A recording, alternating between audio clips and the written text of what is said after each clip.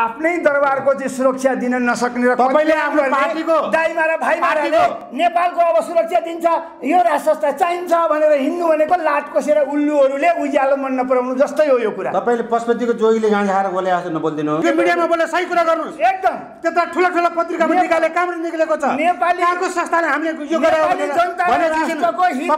सही कुरा गर्नुहोस्। नेपाली तपाईँले आफ्नो सही। बचाउ गर्ने काम चाहिँ हामी- जति- तपाईँ आफ्नो पार्टीको बचाउ गर्ने काम होइन यथार्थ कुरा कुनै त तपाईँहरू नक्कली तपाईँको। यहाँ सक्कली एकछिन। कम्युनिस्टको सिद्धान्तमा हिँड्नुहोस् न। हिँडेका छौँ हामी। कहाँ हिँड्नु भएको तपाईँले हिँडिराखेका छौँ। अहिले यो बहस। सामन्तीको हिसाब गर्नुहुन्छ। चाहे त्यो वैधानिक तानासा होस् चाहे अवैधानिक तानासा हिजो काले- थुपारेको सम्पूर्ण फोहोरको डङ्गुर हामीले अहिले सफा गर्दैछौँ। ढुक्क हुनुहोस् मित्र त्यो फोहोर सफा हुन्छ। तपाईँ जस्ता रैती दास हामीले नागरिक बनाइदिउँ। अझै तपाईँलाई के बनाइदिनु पर्यो? राजा बनाइदिनु पर्यो? राजा त अहिले तपाईँहरू। तपाईँहरू त अहिले राजा हुनु भएको चाहेको छ त- अरू कोही छैन। तपाईँ त तपाईँ नै राजा- अहिले राजा हो। तपाईँ प्रचण्डजीले अब यो मुलुकमा राजा थियो राजा छैन। अब त हामी नै हो भने नेताले भने नेपाली जनतालाई राजाको हैसियतमा चाहिँ पुर्याउँछौँ सिरपेची लाउन पाउँदैन। ताना साउन पाउँदैन। पुर्याउनु पुर्याउनु पुर्याउँछौँ आज हामी एकदमै खरो विषयमा दरो बहसका लागि जुटेका छौँ। दुईजना हस्तीहरू हुनुहुन्छ। नेकपाका नेता छविन्द्र कडेल र त्यसै गरी स्वतन्त्र नागरिक समाजका अभियन्ता रामकुमार रिजाल। सबैभन्दा पहिला यहाँहरू दुवैजनालाई हार्दिक स्वागत छ। धन्यवाद नमस्ते। म अब सत्तारूढ भएको कारणले गर्दा अब छविन्द्र कडेलजीबाटै कुराकानी सुरु गर्दैछु। के हो? तपाईँको नेता त भट्टा वर्ष मात्र जेल जान थाल्यो नि त छविन्द्र कडेलजी। स्वाभाविक रूपमा यसलाई लिनुपर्छ। गणतन्त्र नेपालमा को नेता को अभिनेता अब यसको चाहिँ जसले जुन किसिमको कर्म गर्छन् त्यो अनुसार हेर्नुहोस् न हामीले कस्ता मान्छेलाई जिताएर पठाएको होइन। होइन, यस्तो कुरा हुन्छ। मात्र अर्का सांसदलाई प्रहरीले पक्राउ पूर्जी जारी गरेको समाचार आयो। होइन, अर्का सांसद होइन, चाहिँ होइन। अ, विमानस्थललाई तोडफोड गरिदिने यही नि हो। कोही सांसदमा इट्टा भट्टामा मान्छे जिउँदै जलाइदिने हो। कस्तो व्यवस्था कस्ता मान्छे जनप्रतिनिधि बनाएर हामीले यस्तो कुरा चाहिँ फुलमाला लगाएर यो अहिले भर्खरै नयाँ भएको घटना होइन तपाईँले जुन भट्टीमा हालेको कुरा गर्नुभयो भनेको यो सामान्य कुरा हो। होइन त्यो यो यो समाज रहिन्जेली स्वाभाविक रूपमा यस्ता घटनाहरू घट्दै जान्छन् हिजो अलिकति कम हुन्थ्यो मिडियाले कम चाहिँ थाहा पाउँथ्यो जनताले अलिक कम थाहा पाउँथे सुनिता मनिता हत्याकाण्डदेखि लिएर विभिन्न मूर्ति चोर सुर्ती चोर विभिन्न यहाँ घटना घट्दै आएका हुन् अब तपाईँको जङ्गेकै पाला कुरा गर्ने हो भने कोत पर्व भण्डारखाल चालिसजना एकै ठाउँ एउटै च्याम्पियन बनाएकै हो। त गणतन्त्र नेपालमा यो अनुभूत गर्न पाउन् कि हामीले के बुझिरहेका छौँ भनेदेखि कसैलाई ठुलालाई चैन सानालाई ऐन नहोस्। राष्ट्रपतिले पनि कमजोरी यदि गरेको काहीँ त्यस्तो प्रमाणित भयो भने कारवाहीको दायरा आउनुपर्छ। प्रधानमन्त्री पनि पर्नुपर्छ अरू मन्त्रीहरूको कुरा नगरौँ सम्पूर्ण चाहिँ भनेदेखि यसमा स्वतन्त्र नागरिक भन्नुहुन्छ। त्यसको आवरणमा राजतन्त्रलाई पिठुमा बोकेर हिँडिरहनु भएको छ। एकातिर सत्तारूढ नेकपा लगायतका सांसदहरू जेल जाने क्रम बढिरहेछ। अनि तपाईँले महाराज बनाउन खोजेको मान्छे चाहिँ एकजना समलिङ्गी केटीलाई लिएर पोखरामा बाइक कुदाउँदै गरेको कुरा पनि यतिखेर भाइरल छ। के पारा हो यो? दुवैजनाको त गाई जात्रै छ त अहिले त। स्वाभाविक तपाईँले प्रश्न गर्नुभयो। मैले प्रश्न पनि यही नै खोजिराखेको थिएँ। अब जुन पूर्व युवराज पारसको विषयमा यहाँले कुरा उठान गर्नुभयो म यहाँहरूलाई के निवेदन गर्छु भने स्वयं पूर्व युवराज पारसले के भन्नुभएको छ भने म नेपाली हुँ हामी सबै नेपाली हौँ। भनेर भनिसकेपछि र यसलाई अति नभन्नु भन्नुभएको छ तपाईँहरूलाई चाहिँ होइन, होइन, होइन। त्यो त हाम्रो- त हाम्रो- यस्तो- हुन्छ, यहाँलाई- मलाई बोल्न दिनुहोस् न, बोल्न दिनुहोस्, मलाई-? मलाई बोल्न दिनुहोस् न, मलाई बोल्न दिनुहोस्। मलाई मलाई त कता कता तपाईँले नै जनतालाई आश्चर्यमा पारे हो कि जस्तो मलाई लागिरहेको छ कारण के हो त भने तपाईँको अलिकति पेट दुख्नु पाएको छैन। ए उहाँलाई त हस्पिटल लगाएको छ अरे भनेर त यस्तो हावा फिजाइदिने काम हामी यहाँहरूबाट कतैबाट पनि हुनु हुँदैन उहाँले स्वयं रूपले भन्न चाहिँ हामी नेपाली हौँ। को के को राजावादी को के वादी भनेर हामीले नभनौँ हामी सु- एउटा चाहिँ नागरिकको हिसाबले नेपाली हौँ हामी सबै नेपाली हौँ भनेर भनिसकेपछि एउटा त्यो चेलीलाई कहीँ कतै जानलाई लिफ्ट दिएको होला त्यसमा अति रञ्जित बनाउनु पर्ने अवस्था किन किन गर्नु पर्यो कि तपाईँहरूले के के तपाईँ एउटा चेलीलाई गिफ्ट दिएको। जस्तो मात्र देखिन्छ त्यो। हेर्दाखेरि यो हाम्रो चाहिँ हाम्रो चाहिँ बुझाइमा होइन। हो। मात्र उहाँको भेट छैन होइन, ठिक छ। होइन। भाइरल भइरहेछन् बाहिर आइरहेछन् उहाँसँग हिँड्छ उहाँको- व्यापकै बढेको सत्य कुरा हो एकदमै सत्य हो कि घाम जतिकै छर्लङ्ग छ उहाँको क्यारेक्टर के हो भन्ने कुरो संसारका मानिसहरूलाई थाहा छ? युवराज युवराज पारस कस्तो किसिमको हुनुहुन्छ पूर्व युवराज पारसको चाहिँ गतिविधि के हुन् भन्ने कुरो घाम जतिकै छर्लङ्ग छ अहिले पछिल्लो चरणमा उहाँले यो के भन्छ नेपाली एउटा उखान छ जाँताला भन्दा हाताला सक्छक भने जस्तो। राजाका चौतारामा भारी बिसार खाना पल्केका मानिसहरूले चाहिँ उहाँलाई बढी उचालिराखेका जस्तो हामीलाई लाग्छ। पारस स्वयंले चाहिँ त्यो राजकाजभित्र त्यो अनुशासनभित्र चाहिँ दायरामा बस्न हिजो पनि नचाहेकै हो आज पनि नचाहेकै हो र भोलि पनि उहाँले चाहिँ चाहनुहुन्छ भन्ने जस्तो मलाई लाग्दैन। हिजोको त्यो जुन चाहिँ एउटा के के समथिङ महिला चाहिँ अहिले अहिले मैले बिर्सेँ सोनिका, उहाँ- सोनिका। सोनिका। हुँ। सोनिकाजीलाई अब मोटरसाइकलमा लिएर जाने कुरा यो होइन। होइन।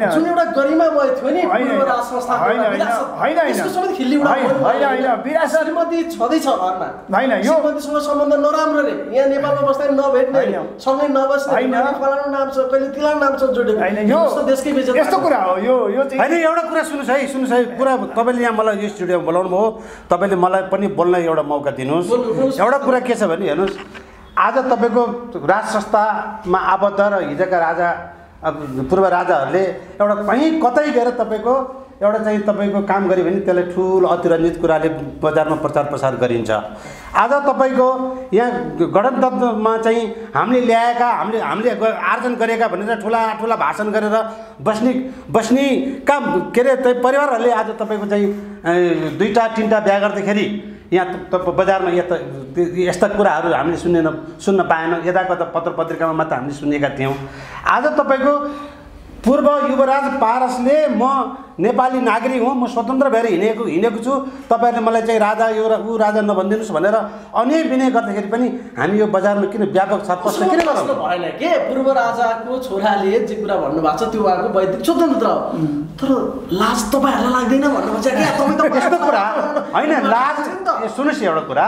यो ठुलो तपाईँको चाहिँ भूभागमा कसले के गरे हुन्छ कसो गरे हुन्छ भनेर सबैको त्यहाँ तपाईँको त्यहाँ नजर पनि पर्दैन एउटा कुरा सुन्नुहोस् है।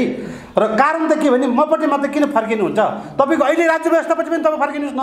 राज्य व्यवस्थामा अहिले तपाईँको कति विकृतिहरू र विसङ्गतिहरू अहिले तपाईँको स्पष्ट रूपमा तपाईँको अहिले आइरहेको कुराहरू छ त्यतापट्टि तपाईँ किन ठिक प्रश्न गर्नु हुँदैन। आज देशको चाहिँ तपाईँको संसारमा बेजत हुँदाखेरि तपाईँहरूले त्यो कुराहरूको चासो छैन। एउटा पोखरामा एउटा युवराजले त्यो काम गर्दाखेरि आज ठुलो त तपाईँको इस्यु बनाउनु पर्ने कारण के हो? पूर्व युवराजले भन्नु न। हजुर। पूर्व युवराजको कुरा गरेँ अब मैले। अब- त्यस कारणले हेर्नुहोस् यहाँ तपाईँको यतातिर मात्र हामी धेरै केन्द्रित नहौँ। अरू अरू कुरामा पनि हामी प्रवेश गर्न चाहन्छौँ। जान्छौँ। न। ल हेर्नुहोस् तपाईँले त पारसको त क्यारेक्टर सबैलाई थाहा छ नि भनेर भनिदिनु भयो उहाँले। मेरो व्यक्तिगत हिसाबमा अथवा पार्टीगत सैद्धान्तिक हिसाबले भन्ने पनि को व्यक्तिले के खान्छ कि खाँदैन कसले कोसँग जान्छ कि जाँदैन कसले कसलाई लान्छ कि लाँदैन कसले के मान्छ कि मान्दैन भन्ने कुरो नितान्त व्यक्तिगत स्वतन्त्रताको कुरा हो। तर त्यो स्वतन्त्रताको कुरालाई पनि प्रयोग गर्दाखेरि भनौँ न कसले कहाँ गर्ने भन्ने कुरा र। एउटा के चाहिँ कुरा सबै नेपालीले सबै धा धर्म संस्कृति सबै किसिमका ओहदामा बस्नेहरूले के चाहिँ ख्याल गर्नुपर्छ भने देशको मूल कानुन संविधानभित्र रहेर आचार विचारहरू आफ्ना औकातहरू हैसियतहरू सबै कुरालाई ख्याल गरेर त्यो चाहिँ चिजबिजहरू गतिविधिमा संलग्न भयो हुन्थ्यो तर यहाँनिर परम्परा के छ भने अभिजात वर्गमा रहेका राजा साहेब रानी साहेबहरूका जो चाहिँ तपाईँको जीवनदेखि सुरा सुन्दरीमा मस्त छन्। तिनीहरूको चाहिँ एउटा परम्परै हो धर्म कर्मै हो। तिनले चाहिँ जे गरे पनि हुन्थ्यो छुट पाउनु पर्थ्यो अनि नागरिक चाहिँ हिजोका एक किसिमका चाहिँ रैती नागरिक भएर चाहिँ भनेदेखि आज केही केही त्यस्ता कमी कमजोरीहरू भयो भने ती चाहिँ सबभन्दा नगर्नु पर्थ्यो हाम्रो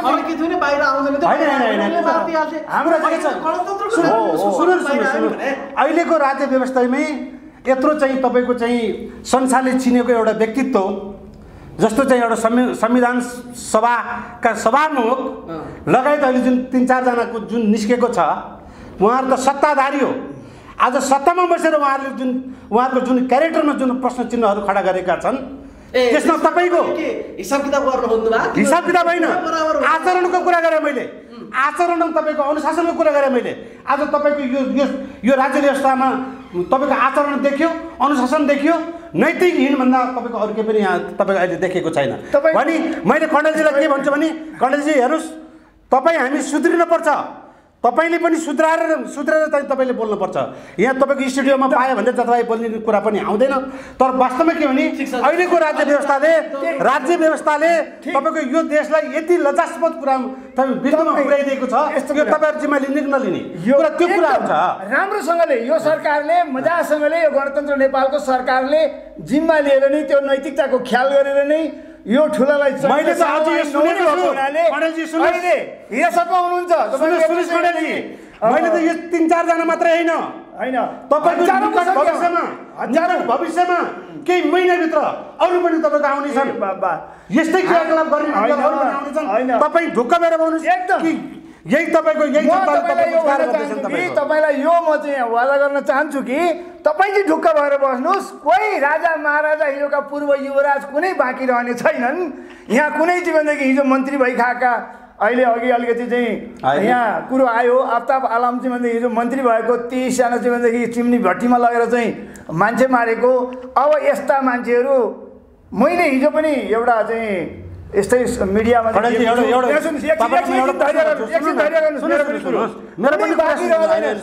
यो कानुन अन्तर्गत नियम अन्तर्गत नेपालको यो सरकार यति प्रतिबद्ध छ कि त्यो चाहे त्यो भन्दै बलात्कारी होस् त्यो भ्रष्टाचारी होस् चाहे त्यो चाहिँ ज्यान मारा होस् त्यहाँ कुनै किसिमको त्यो पनि आउँछ।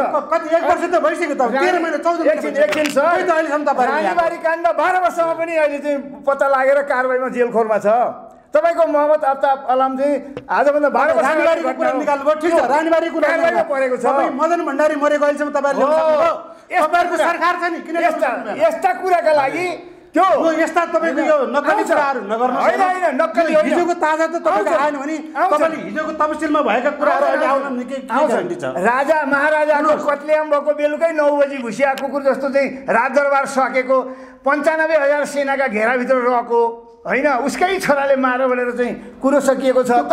भन्ने कुरा थाहा छैन। होइन सबै नेपाली जनतालाई थाहा छ। होइन। उनीहरूले कसले मारेको? तर यस्ता तपाईँ यो मिडियामा बोलेर सही कुरा गर्नुहोस्। एकदम। त्यता ठुला ठुला पत्रिकामा नेपा- निकाले कहाँबाट निक्लेको छ। नेपाली- संस्थाले हामीले यो जनताले सही कुरा गर्नुहोस् हेर्नुहोस् तपाईँले आफ्नो। बचाउ गर्ने काम चाहिँ हामी- तपाईँ आफ्नो पार्टीको बचाउ गर्ने काम होइन। यथार्थ कुरा हामी कुनै आएर तपाईँहरू नक्कली तपाईँको तपाईँ- नक्कली तपाईँ जस्तो काइते कुरा र बासी तर्क तपाईँ जस्तो नक्कली कुरा हामी गरिरहेका नक्कली र सक्कली त अहिलेको राज्य व्यवस्थाले देखाएको छ। छ्याङ्ग पारिरहेका छौँ। राज्य व्यवस्थामा पहिलोचोटि बालवाला प्रधानमन्त्री के अरे मन्त्री जेपी गुप्ता जेल हाल्ने पनि गणतन्त्रकै सरकारले हो। कम्युनिस्टकै सरकारले हो। भ्रष्टाचारमा लिप्त भ्रष्टाचारमा भ्रष्टाचारमा। संस्कृतिमा विभिन्न विकृतिमा। भ्रष्टाचारमा तपाईँको चाहिँ गोल्ड मेडल लिएको सरकार हो यो- राज्यले मात्रै भनेको छैन कि तपाईँको त्यस्तो पनि। भनेको कुरा हो। त्यस्तो प्रमाणित गर्दै जानुहोस् न। तपाईँहरू जस्तो सचेत नागरिकले ल्याउनुहोस् न कुरो। साथ- प्रधानमन्त्रीले के भन्नुभयो त भने हामी हिजो। चियापान कार्यक्रम हिजो होइन हो हिजो चियापान कार्यक्रममा कार्यक्रममा सम्मानीय प्रधानमन्त्रीले के भन्नुभयो भने व्यवस्था विरोधीहरूले विकास देखेनन् होइन। आँखा बन्द गरेर बसे। भनेर भन्नुभयो हो। म यहाँले एउटा प्रश्न गर्छु हो। आज संसारले देख्ने गरेर विकास राष्ट्रिय गौरवका विकासहरू के भएको छन् त मलाई बताउनुहोस् बताउनुहोस् त तपाईँको आँखामा बताउनुहोस् मलाई। तपाईँको आँखामा फुलो परेको भए म अपरेसन गरेर अब देख्ने बनाइदिन्छु नेपालकै इतिहासमा अब त्यो। भन्नेको फुलो पऱ्यो। एकछिन, एकछिन, एकछिन। सुन्नीको फुलो पऱ्यो। एकछिन, एकछिन। आफैले थाहा होला ठिक छ। होइन ठिक छ। जनता त्यो एयरपोर्टको कुरा ल्याउनु भएन। एयरपोर्टमा ठुलो ठुलो चाहिँ एकछिन। मतलब जहाज पनि हामीले लाइन गर्ने हामीले वातावरण बनाएको तपाईँको सवालको जवाब हिजो दिन्छु। एयरपोर्ट बनाउने महामायम महामानव को थिए? तपाईँ थिए तपाईँ अर्को तपाईँको चाहिँ एयरपोर्ट विस्तार गर्नु पर्यो। एउटा तपाईँको मूल बानीको एउटा आज छैन। पोखरामा। अन्तर्राष्ट्रिय विमानस्थल भैरवामा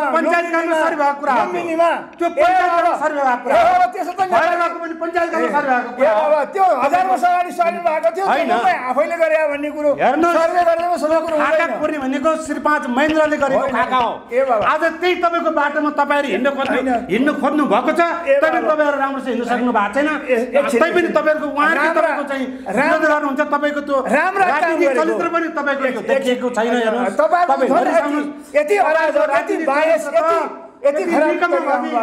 संसारको अगाडि त छर्लङ्गै भयो तपाईँको। एउटा कुरा गरिदिउँ हाम्रो सम्मानीय होइन। के अरे एउटा चाहिँ चाइनाको हाम्रो मित्र राष्ट्र चाइनाको राष्ट्रपति। यो नेपाल भ्रमण गराउने तिन करोड जनताको ठुलो चाहना थियो सुन्नुहोस् यहाँ। ठुलो चाहना थियो यो यहाँ भ्रमण गराउने। तिन करोड जनताको ठुलो चाहना थियो। सी जिनपिङको भ्रमण कहिले होला भनेर हामी एकदम प्रतीक्षामा थियौँ। हेर्नुहोस् है। आज तपाईँको तेइस वर्षपछि तपाईँको भ्रमण भएको छ। त्यसको तेइस वर्षपछि किन भयो त भन्दाखेरि दस वर्ष तपाईँको माओवादीले सशस्त्र युद्ध गर्यो। आज तेह्र वर्षमा नौ वर्षमा संविधान सभा बन्यो। संविधान सभाबाट संविधान बन्यो। त्यो पनि अपूर्ण संविधान। किनभने त्यसो पनि म तपाईँको कुरा ल्याइदिन्छु। अनि बल्ल बल्ल तपाईँको एकमात्र सरकार बनेको छ। त्यो सरकारले साढे दुई वर्षको एक्सर्साइजमा बल्ल बल्ल तपाईँको सी जिनपिङलाई चाहिँ तपाईँको विकासको वातावरण। आज यो मुलुकले सुन्नु न आज यो मुलुकले छिमेकी राष्ट्रपतिलाई स्वागत गर्न हामी तेइस वर्ष पुग्नु पर्ने पर्दो रहेछ।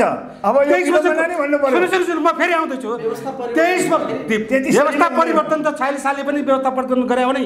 सत्तालिस सालबाट त तपाईँको व्यवस्था त परिवर्तन गर्दै आएको हो नि। त्यो सत्तालिस सालदेखि त तपाईँको त्यो त्यो सत्ता चलाउने को को थिए? तपाईँलाई स्पष्ट कुरा थाहा छ नि कि काङ्ग्रेस कि कम्युनिस्टले चलाएको हो नि। आज त्यो बेला यिनीहरूको चाहिँ आँखामा चाहिँ कति फुलो परेको थियो त? कसको आँखामा फुलो परेको कसको आँखा यस्तो कुरा। अहिले तपाईँहरूले भने हाम्रो आँखा फुलो परेको थियो। हो। पञ्चायत राजमा त दुई वर्ष तिन वर्ष चाइनाको राष्ट्रपति आएर यहाँ तपाईँको भ्रमण गरेको छ। त्यो इतिहास छ। आज तपाईँहरूले चाहिँ यो देशलाई चाहिँ बेचेर खाने हिसाब किताब हामीलाई पनि राम्रोसँग थाहा छ वल्लो गाउँबाट पल्लो गाउँमा जाने झोलुङ्गे पुल हाल्न नसक्ने यिनै राजा महाराजाको शासन थियो त्यो झोलिने पुलको एउटा एउटा। बाटो एउटा बाटोमा थियो? ढुङ्गा गिटी नहाल्ने सामाजिक सुरक्षा बुढा। साम्राज्यवादी घोडा। राजतन्त्रले नै तपाईँको। नेपाली जनतालाई। घाँस प्रजा बनाएर खाइराखेको थियो आज हामीले ओपन गरिदिउँ र। त्यही उत्तरको गणतन्त्र माओवादको गणतन्त्रवादी। खोल ओढेर। भाषण दिएर। नक्कली भाषण दिएर तपाईँले एकदम सक्कली। कुराले चिउरा। चिउराले तपाईँको पानी नै चाहिन्छ। तपाईँहरू कुराले चिउरा भिजाउने। दुध दहीले नै आज दुध दही के मजासँगले हत्या गर्नुपर्छ नेपालकै। इतिहासमा। नेपालकै इतिहासमा। आज पन्ध्र खर्बको बजेट र उत्तरको जीवनले छिमेकी मित्र राष्ट्रले साढे आठ खर्बभन्दा बढी र देशमा जीवनले विकासको लहर आज आउने भयो भनेर तर्सिएर अतालिएर केही राजाबाजी भन्न पनि। स्वतन्त्रताको नाममा है। वार्षिक बजेट नेपालको वास्तविक बजेट नेपालको कति हो? ल तपाईँले मैले सोधेँ। कति हो? यो प्रत्येक वर्ष तपाईँको प्रत्येक वर्ष। तपाईँको सुरुमा बौद्ध लाउँदा बत्तिस अर्बको बजेट गिरिजा प्रसादले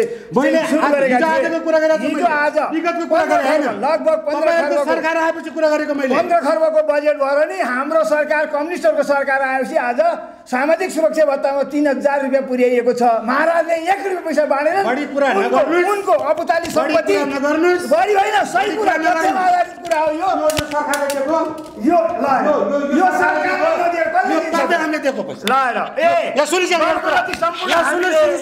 तपाईँले गरेको त्यो नब्बे वर्ष पुया बुढालाई झुक्क्याएर तपाईँलाई जिताएर पठाउनुहोस् म पाँच हजार रुपियाँ दाम तपाईँलाई खन खन दिन्छु भनेर तपाईँ झुक्क्याएर? अनि अहिले तिन हजार रुपियाँ के। अवस्था हुन्छ? यो क्रमिक रूपमा दिँदै जान्छ बढिराखेको छ। त्यो बेला भोट माग्ने जाने बेला त्यो त्यो त्यसरी वर्तमान प्रधानमन्त्री जिताउनुहोस्। पाँच हजार रुपियाँ तपाईँको महिनामा खन खन आउँछ भनेर तपाईँ तपाईँहरूको झुट्टा राजनीति गर्नु। तपाईँको पनि ताकत भए। पार्टी खोलेर आउनुहोस् तपाईँ दस हजार दिन्छु नेपाली नागरिकलाई सुरक्षा भत्ता भनेर। फेरि तपाईँ प्रतिस्पर्धा गरेर जितेर आउनुहोस्। तपाईँलाई चित्त नबुझेका के के हुन् विकास निर्माणदेखि लिएर प्रतिस्पर्धा गरौँ। र अगाडि तपाईँले अहिले सुन्नुहोस्। तर नेपालमा अब एउटा विमान एउटा विमानस्थलमा चाहिँ भनेदेखि अन्तर्राष्ट्रिय जहाज यहाँ अवतरण गर्न सकेर दिल्ली र बम्बईमा अवतरण गर्नु पर्थ्यो। अब त्यो यहीँ लुम्बिनीमा गराइन्छ यहीँ सिमरामा गराइन्छ। ल्याइन्छ अरब भ्रष्टाचार गर्ने योजना अहिले बनिसकेको छ एकछिन अर्को दुईटा वाइट बोर्ड ल्याउने भन्ने मैले कुरा सुनेको छु तपाईँहरूको त यो यो योजनामा ल्याउने नेपाली जनतालाई। ऋणको ऋणको भारी बोकाउने अनि यहाँका वाम इतिहासमा। अनि यहाँका वामपन्थीका नेताहरू अनि भन्थे। जीवन बिताउने विलासिता जीवन बिताउने ल, कुन चाहिँ तपाईँहरूको पार्टीको कुन चाहिँ नेता डेरामा बसेको मलाई बताउनुहोस् त तपाईँ बताउनुहोस् ल बताउनुहोस् तपाईँ एउटा तपाईँको महाराजको तपाईँको खोलेर आएको RNC आउनु भएको छ। RNC आफूले परिचय दिनु हाम्रो पार्टीले होइन। दुई चार करोडको चाहिँ तपाईँ परिचय दिनुभएको छ मेरो अगाडि अहिले। तपाईँ यदि वामपन्थी हो भने तपाईँको जनताको सेवा गर्नुहोस्। त अहिले मात्र तपाईँ वामपन्थी अहिले पनि हामी जनता र राष्ट्रकै सेवामा छौँ। तपाईँहरू- लागिराखेका छौँ। तपाईँहरू लागिराखेका तपाईँले। सामन्तीको हिसाब गर्नुहुन्छ। दरबार भने तपाईँ सय गुणा तपाईँ सामन्ती चाहे त्यो वैधानिक तानासा होस् चाहे अवैधानिक तानासा तपाईँहरू अवैधानिक हिजो तानासा। हिजो काले थुपारेको सम्पूर्ण फोहोरको डङ्गुर हामीले अहिले सफा गर्दैछौँ। ढुक्क हुनुहोस् मित्र त्यो फोहोर सफा हुन्छ। अब यता सुन्नुहोस् यता सुन्नुहोस् अब अगाडि बढ सुन्नुहोस् नेपाली अगाडि त बढ्छ तपाईँले रोक्नु सक्ने हुँदैन। अब समयले तपाईँले रोक्नु सक्नु हुँदैन समय अगाडि बढ्छ। त्यसलाई कुतर्क गर्नुहोस्। त्यो समयलाई क्यास नगर्नुहोस् तपाईँले समय। अगाडि बढ्छ। बढ्छ। त्यो बढ्छ त्यो हामी- रोक्न सक्दैनौँ। तर तपाईँहरूको तपाईँहरूको यो व्यवस्थाले समय अगाडि बढ्दैन। तपाईँहरूको यो राज्य व्यवस्थाले त। यो भाइको यो भाइको यो भाइको छेकिँदैन। तपाईँको सैँतिस हजार एकदम तपाईँको ऋण छ अहिले। तपाईँ त्यो ऋण घटाउन सक्नुहुन्छ ऋण घट्छ घट्छ। घट्दै जान्छ तपाईँहरूको राज्य व्यवस्था कस्तो थाहा छ अब गरिबले चाहिँ तपाईँको? हात्ती किने जस्तो छ कि? गरिबले सकमा त हात्ती किन्यो तर त्यसलाई दाना पानी कसरी जो गर्ने भन्ने कुरा त्यो योजना। यही हो तपाईँहरूको गणतन्त्र भनेको कारण यही हो यही हो गणतन्त्र। अठारदेखि बाइस घन्टा जलस्रोतको धनी देशलाई जीवनदेखि अन्धकारमा राखेर पानी आउँदा बत्ती छैन बत्ती आउँदा पानी छैनको स्थितिमा काका कुलमा राख्ने। राजा आउनुभयो। शासक प्रशासक वर्तमान मन्त्रीमण्डलमा तपाईँहरूकै वर्तमान मन्त्रीमण्डलमा यो लोड सेडिङ गराउनेको म नाम लगाएर कारवाही गर्ने मध्येको म पनि हुँ। म पनि हुँ। हँ?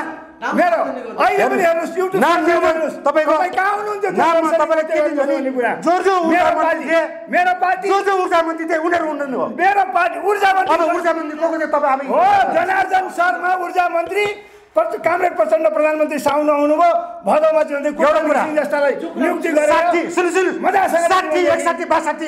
राजा गान्धीले आफ्नो सत- सत्ता शासन सत्ता आफ्नो लिएर हराएर तपाईँको लोड हामी सेडिङ भएको छौँ। तपाईँ लोड त्यो सेडिङ भएको। त्यो उज्यालो लोड सेडिङ भएको थियो। त्यो काठमाडौँको उपत्यकाको सुन्नु न। सुन्नु न सुन्नु। थिएन दिँदैन थियो तपाईँले माफियाले गणतन्त्र। नेपाल आइसकेपछि र नेकपा माओवादी केन्द्रको नेतृत्वमा सरकार राम्रो राम्रो भन्छौँ। कुलमान घिसिङले गर्ने भए उहिले गर्ने सरकारले। वामपन्थीहरू तपाईँ। अहिले युट्युब सरकारले उसले तपाईँको लोड अहिले सेडिङ घटाइदियो अहिले ए हानपन्थीहरूले तपाईँको अहिले यु अहिले युट्युब सर्च गरेर हेर्नुहोस् छवि राज कणेलले कसरी आन्दोलन गरेको रहेछ त्यो उज्यालो बनाउनका निम्ति कुलमान घिसिङलाई त्यहाँनिर कुर्सीमा राख्नका निम्ति यो सरकारलाई लागेको आरोपको खण्डन मण्डन गर्नका निम्ति त्यो सबै कुलमान घिसिङले आफ्नो विवेकले काम गरेको छ। होइन। तपाईँ एउटा कर्मचारीले त्यसो उसको विवेकले काम गरेको। तपाईँहरूको विवेकले भने अहिले। चौबिस घन्टा तपाईँको लोड तपाईँ यसरी दिनलाई? कुरा गर्नुहुन्छ। कुलमान घिसिङलाई त तिन वर्षसम्म पेन्डुलम बनाएर राखेका थिए। हिजोका संसदवादीहरूले। अब अब सुन्नुहोस्। अबको स्थितिमा कुरा चाहिँ अब अब तपाईँले। आलो पालो कुरा गर्नुहोस्। आलो पालो आलो पालो कुरा गरौँ। यो यसरी- अनि आउनुहोस् तपाईँको। तपाईँ यसरी कुतर्क गरेर नजित्नुहोस् नेपालकै इतिहासमा एउटा ऊर्जाको विकास गर्ने अब नयाँ झोलामा खोला बोकेर हिँड्नेहरूको त्यो विरासत अन्त्य गरेर मनोज मिश्र। जस्ता मनोज मिश्र जस्ता जल माफिया जल माफियाहरूलाई लगाएर आज मेरो सुनिदिनुहुन्छ? सुन्दैछु म। मेरो कुरा एकदम मेरो गलत कुरा ठेक कुरा सुन्नुहोस्, गरिरहनु भएको छ सुन्नुहोस्, सुन्नुहोस्। तपाईँ कहाँ हुनुहुन्थ्यो? त्यतिखेर लोड सेडिङ मेरो कुरा सुन्नुहोस् न अन्त्य गर्ने तपाईँ। अभियानमा कहाँ हुनुहुन्थ्यो? होइन मेरो कुरा सुनिदिनुहोस् न तपाईँ। मेरो पनि सुन्नुहोस् तपाईँ। आज के हाम्रो मुलुकमा र यो काठमाडौँ सहरमा आज सफा सुग्घर हराभरा हेर्नलाई विदेशी पाहुना मात्रै आउनुपर्ने हो त हामीले नेपाली यो चाहिँ काठमाडौँको जनताले। विकास र श्रृङ्गारको फरक छुट्याउनुहोस् है? तपाईँलाई मैले प्रश्न गरेँ यो यसलाई तपाईँले विकासै गर्यो रातारात गर्यो भन्ने ढङ्गले जसरी उडाएको छ नि एउटा अतिथि देव भव भन्ने त हामी नेपालीको संस्कार हो। अझ तपाईँ रातारातको उकाला- गर्ने अझ बढी संस्कार संस्कृतिको कुरा गर्नुहुन्छ। त्यसलाई चाहिँ विकास भन्दा पनि श्रृङ्गारको रूपमा हामीले लिनुपर्ने हुन्छ। होइन। विकास गर्नुपर्छ भन्ने तर्क त। छँदैछ। भाइ एउटा कुरा। यसलाई चाहिँ मेरो कुरा सुन्नु सुन्नु सुन्नु सुन्नु सुन्नु सुन्नु। पाहुनाको कुरा सुन्नुहोस् एउटा। पाहुना त तपाईँको तपाईँको तपाईँको रोल्पामा पनि जान सकिन्छ नि त। सकिन्छ। रोल्पामा पनि जान सकिन्छ नि। सकिन्छ। यो काठमाडौँ भनेको यो राजधानी हो यो। यहाँ विश्वका मान्छेहरूको तपाईँको केन्द्रित भएको ठाउँ हो यो। यो चाहिँ एउटा हामीले यहाँ हराभराहरूलाई चाहिँ के तपाईँको महामहिम राष्ट्रपति नै आउनुपर्ने काठमाडौँको जनताले चाहिँ त्यो तपाईँको हराभराहरूलाई त्यो त होइन। हो, ठिक छ। त्यो गर्यो त्यो पनि गर्यो त्यो पनि सकिदिएको कुरा हो। तर त्यसलाई निरन्तरता दिनुपर्ने हो नि। आज तपाईँको गएर त्यहाँ गएर तिनको नेमा हेर्नुहोस्। पर्छ। त्यो त्यहाँ गएर हेर्नुहोस्। पर्छ। तपाईँ त्यहाँ गएर हो। तपाईँहरूको तपाईँहरूको नीति के त भने नक्कली नीतिले यो देशलाई तपाईँको उन्नतिर प्रगतितिर जाँदैन हेर्नुहोस्। यो चाहिँ तपाईँहरूले मजा छ।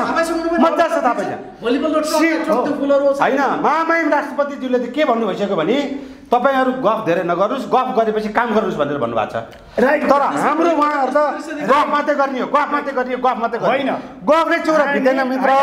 गफ कामले पनि नगरौँ गरेर देखाउँदैछौँ। तपाईँको कुरामा मेरो के सहमति छ भने तपाईँले बुझ्नु यो जरुर छ कि हिजोकै शासन सत्ताका मानिसहरू वरिपरि रहेका स्थायी सरकार भनिने भ्रष्ट कर्मचारी र माफिया गुन्डा ठेकेदार यसरी नै खान पल्किएका छन् सत्ताका वरिपरि रहेर एक खालको चाहिँ त्यो के भन्छ जता जता चाहिँ काफल पाएको उतै उतै चरी नाचेको स्थितिमा छ। त्यो स्थायी सरकार त्यो चाहे त्यो पुलिसको अफिसर भन्नुहोस् चाहे त्यो सेनाको प्रमुख भन्नुहोस् त्यो उच्च तहमा रहनेहरू चाहे त्यो मुख्य सचिव भन्नुहोस् चाहे त्यो प्रधान न्यायाधीश भन्नुहोस् यो देशका त्यो परम्पराबाट आएको हुनाले त्यो स्कुलिङ भएको हुनाले हो त्यो विरासत छ। बस त्यो छ। त्यस कारणले गर्दा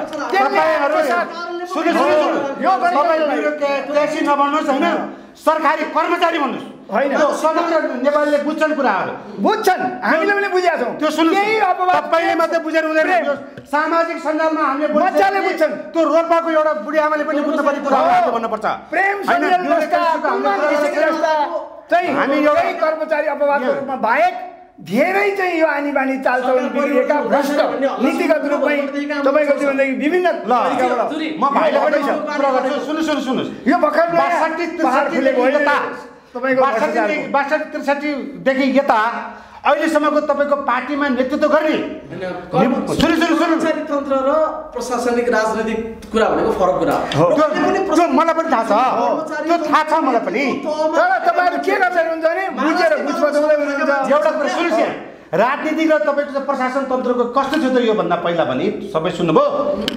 काहीँ सोरो बडो गर्नु पऱ्यो भनेदेखि राजनीतिक भेटी चढाउनु पर्ने। त्यो तपाईँले लगाउनु भएको नियुक्ति नियुक्ति लिन राजनीतिक त्यो भेटी- भेटी परम्परा चढाउनु अब पर्ने। महाराजकै पालादेखि। महाराजको पाला थियो हो, हेर- हेर्नुहोस् महाराजको महाराज पाला- कालदेखि सुन्नु यो सुन्नु, आउँदै मित्र। मेरो कुरा। महाराजको पालामा पनि थिएन भनेर हामी भन्दैनौँ हो, थियो। तर त्यो बेला। थियो जसले गर्थे के हुन्थ्यो मेरो पुस्तालाई नष्ट गर्छु मैले यो गरेँ भने मेरो सात पुस्ताले नष्ट हुन्छ भनेर त्यो जोखिम मूल्य गर्थेँ अहिलेका यी भ्रष्टहरू त के छ भने म जति भ्रष्टाचार गर्छु मेरो लागि त्यति नै सम्मान हुन्छ भनेर अहिले तपाईँहरूले त्यो खेती गर्नु अब अब जोखिम अब देख्दै हुनुहुन्छ नि त अगाडि अब जोखिम मोलेर चाहिँ काम अब तपाईँको चरम भन्ने सीमा आइसकेपछि अब देखेर के काम। त्यो सीमा लागेकै बेलामा हामीले सफा गर्नु पर्यो त। भ्रष्टाचारको चुचुरो चाहिँ सगरमाथा जस्तोलाई हामीले सफा गर्ने जिम्मा लिएका छौँ। आज तपाईँको हामी त्यो गर्छौँ। त्यो गर्छौँ। ललिता निवासकै कुरा गरौँ। कस्ता कस्ता मान्छे संलग्न छन्? गरे। उन्चास सालको प्रधानमन्त्रीले गर त्यो पनि अब आउँछ। कुन कुन पार्टीका चाहिँ। हस्तीहरू त्यहाँ सहभागी। छन् त संलग्न छन् त। जस्तो आइलेगाउँको जग्गा खरिद प्रकरणमा हेर्नुहोस्। कस्ता कस्ता मान्छेहरू छन् हो। वाइड बडीमा हेर्नुहोस् कस्ता मान्छे छन् अहिले अहिले हिमाल त्यही। तपाईँको ठेक्कामा दिने भन्ने कुराहरू आइरहेको छ यो अहिले चलिरहेको छ यो कुराहरू अहिले बाहिर त्यति आइपुगेको छैन त्यो हिमाल पनि ठेक्कामा दिने सबै ठेक्कामा दिने नेपाल सरकारको नीति अहिले रहेको छ हेर्नुहोस्। यो सबै नीतिकरणमा गएर एउटा सिंहदरबार मात्रै लिएर बस्ने सरकारको नीति हामीले देखेको हुनाले हामी यो सरकारप्रति ठिक छ। हामी यसमा चाहिँ हामी तपाईँले- सडकदेखि सदनसम्म। यसको बुलन्द आवाज गर्नुपर्छ भन्ने हाम्रो कुरा। लोकतन्त्रको उच्चतम अभ्यास नेपालले गरिरहेछ राम्रो नराम्रो सबै कुराहरू बाहिर फरक कुरा चाहिँ के हो भने महाराजको शासनकालमा पनि यस्ता कुरा त हुन्थे। फरक यति थियो बाहिर आउँदैन थियो आयो मरिन्थ्यो क्या हुँदै हुँदै तपाईँको कसरी बाहिर आउँछ हुने नै थिएन तपाईँको कसरी बाहिर आउँछ यस्तो अहिले चाहिँ तपाईँको हेर्नुहोस् तपाईँको नजराउनु न- न- न- नदिँदैन तपाईँ कुनै पनि काम ए हुँदैन बाबा, हिजै पनि हिजै पनि माथिको आदेश हाम्रो मान्छेकै आधारमा चलेको यो सिस्टम परिपाटी यो आनी बानी चालचलन अहिले पनि त्यो निरन्तरता छ त्यसको निरन्तरताको क्रम भङ्ग गर्नका निम्ति हामीले मन्त्रीलाई नै बालवालालाई जेल हालेर देखाइसक्यौँ सभामुखलाई नै हिरासतमा लिएर देखाइसक्यौँ अब तपाईँको चाहिँ मानिसलाई चाहिँ ग्यास चेम्बरमा हाल्नेहरूलाई लगेर अहिले मन्त्री बालवाला हिजोकालाई लगेर हामीले कारवाहीको दायरामा ल्याइसक्यौँ शेरबहादुरजीले एउटा कुरा भनेको सुन्नुहोस् यहाँ हिजो तपाईँ र मेरो अझै राम्रोसँग घनिष्ठसँग चाहिँ परिचय होस् अझै राम्रोसँग चिनियोस् यही विकृति र विसङ्गति हो चाहे त्यो राणाकालीन होस् चाहे तपाईँको शाहीकालीन होस् चाहे राजासहितको बौद्धले व्यवस्थाका संसदवादीको होस्। त्यसका विरुद्धमा हामी लडेर आएको पार्टी हो। अहिले हामी के गर्दैछौँ भन्दा खिया लागेका किट पतङ्गहरू सारालाई हामी हजार डिग्रीको सेल्सियसमा हालेर उजी ल्याउने काम चाहिँ हामी गर्दैछौँ। उनका विकृति विसङ्गतिहरू सबै अब हामी महाराजको पनि तपाईँको पहिला नम्बर तपाईँ जस्ता स्वतन्त्र बुद्धिजीवीको पनि अब छानबिन हुनुपर्छ। यो देशमा सम्पत्ति मेरो पनि पहिला नम्बर हो। पहिला नम्बर हो मेरोबाट सुरु गर्न म तयार छु। सम्पूर्ण कुरो। हेर्नुहोस्? यो देश र जनताको लागि मेरो सम्पूर्ण हिजो। हिजो मेरो एकछिन यहाँ मित्र। अघि नै भने मैले? कुरा सुन्नु जरुरी छैन। तपाईँको मात्र फेक कुरा पनि मैले ठिक छ होइन। तर मैले त बोल्न त पाउनुपर्छ नि। पाउनुपर्छ तपाईँले हामी एउटा तपाईँको नैतिकताको चाहिँ प्रश्न उठाएर हिँड्ने मान्छेले मैले सजाय पाउनु हुँदैन मैले गल्ती गरेँ पनि भनेर मैले भन्न मिल्छ। यदि मैले गल्ती गरेँ त मैले पनि सजाय पाउनुपर्छ। तर हिजो त्यो संस्थाले गल्ती गरेको थिएन। आजसम्म किन तपाईँको चाहिँ कारवाहीको भागीदार किन भएन त? यो तपाईँको कारण छ। बजारमा अनर्गल प्रचार गरेर हुन्छ? हुँदैन। हुन्छ।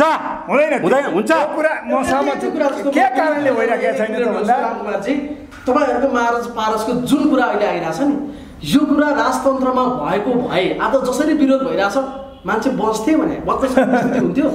एउटा राजतन्त्रमा यदि राजतन्त्र यो मुलुकमा अहिले कायम भइरहेको थियो त्यो त्यो अवस्था आउने पनि थिएन नि त तपाईँले के कुन कल्पना गर्दै हुनुहुन्छ त्यो? यो मुलुकमा हेर्नुहोस् अहिले पनि म त होइन होइन कुनै एक व्यक्तिको कारणले तपाईँले राष्ट्रिय राजनीतिमा पनि व्यक्ति होइन त्यो त एक व्यक्ति होइन हुनेवाला राजा थियो युवराज थियो। त्यसले राष्ट्र हुन सक्छ। त्यो नेपालको हुने Alternative choice छ नि अर्को मान्छे आउन सक्छ। नेपालको युवराजले त्यो हरकत गर्दा हाम्रो शिविर कसरी निहुर्यो होला एउटा कुरा एउटा कुरा तपाईँहरूले किन यो मतलब चाहिँ एउटा त्यो शब्द सुन्दाखेरि नै तपाईँहरू अलिकति हतासिएको हो कि जस्तो मलाई उहाँहरू हामी एउटा अहिले चाहिँ तपाईँको चाहिँ कुनै भूमिकामा रहेका छैनौँ भनेर उहाँहरूले भन्दा भन्दै पनि यसमा त- त्यतापट्टि किन चाहिँ हामी चाहिँ केन्द्रित भइरहेछौँ? होइन। तपाईँहरू जस्तो मान्छे। तपाईँहरू जस्तो मान्छेको चाहिँ राजाको बनाउने। को नबनाउने भन्ने कुरा त हामीले। छौँ। त राष्ट्र त्यही संस्थागत राज रूपमै संस्थामा हाम्रो पनि विरोध। हाम्रो पनि व्यक्तिगत रूपमा कसैसँग लिनु दिनु पैसा छैन। त्यो राष्ट्र संस्था भन्ने नै नेपाली जनताको एकदमै त्यो चाहिँ भनेदेखि एक किसिमको क्यान्सरको रूपमा रहेको। त्यो माथिको आदेश हुकुम प्रमाणी छाँटेर हामीलाई पटक पटक गोलीको आदेश जारी गरेर आज तपाईँलाई यतिको सिंह जस्तो गर्जिएर भनेदेखि यहाँ बोल्ने अवसर प्राप्त गरेको भनेको हामी जस्ता यो देशमा राजतन्त्र विरोधीहरूले कम्युनिस्टहरूले खास गरिकन यहाँ गणतन्त्र ल्याइदिएको हुनाले आज आज जस्तो गर्जिएर सबभन्दा बढी ज्ञानेन्द्रले मारेको छ शाहीकालमा सङ्कटकाल लगाएर kilo sierra two three romeo विभिन्न किसिमको अपरेसनहरू जारी गरेर हामीले त यो परिवर्तनलाई देखाएर औचित्य पुष्टि गरेर एकछिन ल्याउनु भयो नि। हार्ने अपराधी जेल जानुपर्छ संसारको रूपमा। काम गरेर तपाईँहरू त्यही बेला। हुनुहुन्थ्यो नियम। त्यही राजाले भन्यो कि। नेपालीले एक नेपालीले मारेर राजकाज दिगो हुँदैन भनेर त्यो विवेक पुर्याएर आज तपाईँहरू यो ठाउँमा आएर बोल्न सक्नु। त्यस्ता? विवेकी। आफ्नै वंश नाश भएर बेलुकै कत्या पन्चानब्बे हजार सेनाको बिचमा आफै राजाको जिम्मा लिएको भनेका आफ्नै दाजु भाउजूको आफ्नै भाइ। दरबारभित्र पन्चानब्बे हजार थिएन नि ए बाबा चालिस हजार सशस्त्र थियो। एकछिन। एकछिन तपाईँ पन्चानब्बे थिएनन् नेपालको म भन्दैछु। तपाईँ तिस करोड जनताको त्यस्तो- तपाईँ तपाईँ घर छोड्यो भने त्यस्तो- तिन करोड जनताले सुरक्षा दिनु त्यस्तो त्यस्तो घेराभित्र पनि आफ्नै दरबारको चाहिँ सुरक्षा दिन नसक्ने तपाईँले आफ्नो पार्टीको- नेपालको अब सुरक्षा दिन्छ। यो राजसंस्था चाहिन्छ भनेर हिँड्नु भनेको लाट कसेर उल्लुहरूले उज्यालो मन नपराउनु जस्तै हो यो कुरा। तपाईँले पशुपतिको जोगीले गाँजा बोले जस्तो नबोलिदिनुहोस्। होइन।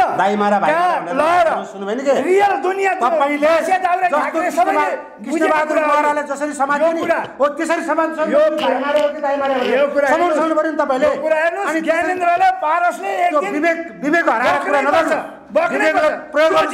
त्यो जिम्मा राजाको सिन्दुर पहिरिएका भनेका त्यतिखेरका चिफ साहबले जिम्मा लिनै पर्छ नैतिकताको आधारमा तपाईँ यस्ता राजावादीहरूले यसको खोजी गर्नै पर्छ हामीले पनि यसमा साथ दिन्छौँ।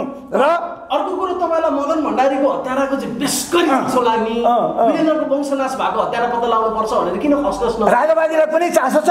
छ कहिले बोल्नु पर्छ तपाईँहरू? राजा चौतारामा भारी बिसाएर खान पाइन्छ कि भन्ने आशा चाहिँ गर्ने। भण्डारीको चाहिँ त्यस्तो नृशंस हत्या भएको विषयमा चाहिँ कुरै नगर्ने। मित्रले मौका नपाएर। होला। मित्रले मौका नपाएर होला। राजाको बसेर। त्यस्ता मौका होला। कति आयो, कति तपाईँहरूकै मन्त्रीमण्डलमा। तपाईँहरूकै नेतृत्वमा हिजो राजाले मलाई बोलाउँछन् कि भनेर तपाईँको चाहिँ दौरा सुरुवाल सिलाएर बसेका मान्छे भनिन्छन् तपाईँले गफ नदिनुहोस् छन्। सुन्नुभयो नि कि त्यसै कारण तपाईँ नगर्नु होइन होइन तपाईँ माओवादी सक्कली कुरा गर्छु तपाईँ कम्युनिस्ट विचारधाराको हो तिनलाई- कम्युनिस्ट विचारधारा अघि भनिसकेँ। कम्युनिस्ट आचरणमा अघि भनिसकेँ मैले यो तपाईँको एकछिन, एकछिन। एकछिन अघि मैले अघि मैले यो कुरो भनिसकेँ जो आत्मसमर्पण गर्यो मदन कुमार भण्डारीको हत्यापछि प्योर सक्कली हौँ हामी। नक्कली चाहिँ हामीले सक्कली बनाउँदैछौँ अहिले। जब कि यहाँ सुन्नुहोस् आत्मसमर्पण गरेर वर्गसम्बन्धको बाटो हिँडेकै हो। माधव कुमार नेपालले पाँच खेप दौरा सुरुवाल सिलाएकै हो। तर नेपाल हामीले आउनु पर्यो राजाले दिएनन्? राजाले दिएनन्। तपाईँकै तपाईँकै कमरेडले भेट्न खोजेको थियो। ल। सुन्नुभयो? मेरा कमरेडले भेट्न खोजेको थियो। आजसम्म सम्म। ज्ञानेन्द्रलाई त्यसका वंशलाई। कहीँ भेटेका छैन। तपाईँहरू त्यही भएर? तपाईँहरू होसमा आएर कुरा गर्नु हामीले सुन्नु सुन्नु हामीले त तपाईँहरूको सशस्त्र युद्ध कालमा तिनवटालाई बनाइदिउँ। संसदीय युद्धकालमा प्रचण्डजी पन्जाबमा बसेर म नोकरसँग वार्ता गर्दिनँ मालिकसँग वार्ता गर्छु भने क्रान्तिको रणनीतिमा को कोसँग कतिखेर हुन्छ स्थायी रणनीति होइन। आज तपाईँहरूको आजको रणनीतिमा पर्नुभयो। आज शासन आएर फस्नुभयो। अब फस्दै हुनुहुन्छ हामी हिलोमा कमल फुलाउन आएकै हो। कमल संसदमा कमल तपाईँको कुजेरको देशी विदेशी षड्यन्त्रकारी देशी विदेशी षड्यन्त्रकारी देख्छ है। देशी विदेशी षड्यन्त्रकारी नेपालीले खोजेकै हो। नेपालीले हामी कमल फुलाउने नि भयौँ अब निश्चित हो भने मेरो छवेन्द्र सरलाई प्रश्न छ। जस्तो अहिलेको जति पनि शीर्ष नेताहरू हुनुहुन्छ उहाँहरूले चाहिँ राजतन्त्र हुँदाखेरि राजाले गरेको त्यो शासनको विरोध गर्दै हुनुहुन्थ्यो त्यो प्रविधिको। तर अहिले चाहिँ के छ भन्दाखेरि व्यक्ति भिन्न प्रविधि एउटै छ। जस्तो आफ्नै राज राजतन्त्र हुँदाखेरि वंशानुगत जो पहिला छ उसले शासन गर्थ्यो। गर्थ्यो। त्यहाँनिर उहाँहरूको चाहिँ के विरोध थियो भन्दाखेरि जो खुबी छैन जोसँग क्षमतावान छैन उसले नेतृत्व गर्न मिल्दैन भनेर जुन प्रविधिको विरोध गर्नुभयो। त्यो प्रविधि चाहिँ आफैले अहिले अँगालिराख्नु भएको छ। आफ्नो छोरी बुहारी नातिनी सालीहरूलाई चाहिँ ठाउँ ठाउँमा सेटल गर्ने। त्यो प्रविधि चाहिँ एउटै भएन र पहिलाको प्रविधि र अहिलेको प्रविधि तपाईँले भनेको प्रश्नको जवाफ म कसरी दिन्छु भने कुनै यो परिवर्तनका निम्ति लड्ने कुनै राजकुमारीहरू राजा साहेबहरू थिएनन्। जसका छोराछोरी बुहारी सन्तान सर्वस्व सबै युद्धमा होमिए अब तिनका कोही मारिए कोही बाँचेका छन्। तिनको अरू उद्योग धन्दा कल कारखाना केही पनि छैन। एकछिन एकछिन सर्वस्व गुमाएको छ। अब राजनीति योग्यता क्षमता नराखेको भए एकछिन एकछिन एकछिन नराखेको भए जस्तो त्यही परिवारभित्र पनि त अब सीता दाल हुनुहुन्छ। फर्स्ट लेडी अब। तर उहाँ त कुनै चाहिँ राष्ट्रपतिमा कुनै ठाउँमा दावेदारी त हुनुभएको छ। भने यसरी जोसँग योग्यता र क्षमता छ कला कौशल छ उहाँहरू त्यसका आधारमा जानुभएको यो एउटा धर्मको खेती लाउनेहरूले अपराधीहरूले बदमासहरूले एउटा जानै हुँदैन। कसलाई लिएर जाने त? के पारसा लिएर जानु पर्छ हामीले गणतन्त्र नेपालमा अरू मान्छे छैनन् त जनयुद्ध छन्। उनीहरू एकदम एकदम एकदम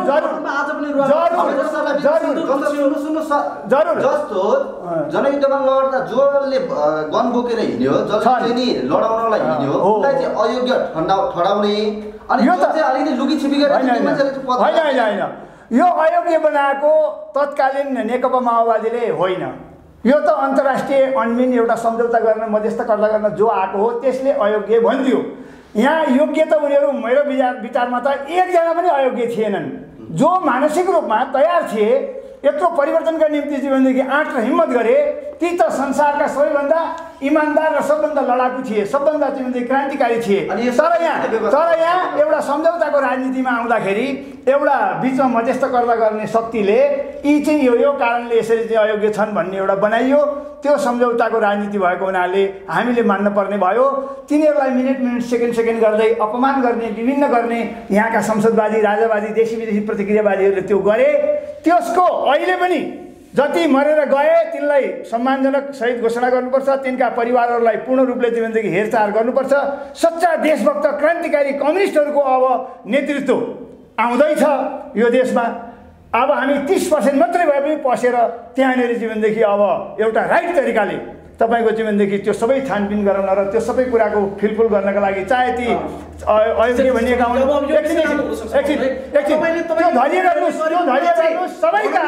त्यो कुरा गर्छौँ।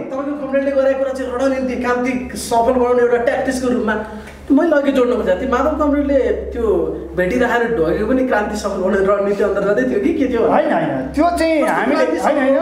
अहिले अब कतिपय कुरा अब हामीले चाहिँ यो अघि भनिसके खिया लागिसकेपछि एक खालको आत्मसमर्पण गरिसकेपछि वर्ग समन्वयको बाटो हिँड्नुको विकल्प नदेखेपछिको त्यो एउटा परिणाम थियो। त्यो एउटा इतिहास बनिसकेको कालखण्ड हो। अहिले हामीले के गर्दैछौँ त भन्दाखेरि क्रान्तिकारी देशभक्तहरूलाई खिया लागेका कुँडा कर्कटहरूलाई पनि हामी चाहिँ अहिले उजी ल्याउने काम गर्दैछौँ। राइट त्यतिखेर ल भनिसकेँ मैले। त्यतिखेरको अवस्थामा होइन। पटक पटक धोका जति त्यो पनि दुनियाँलाई थाहा छ।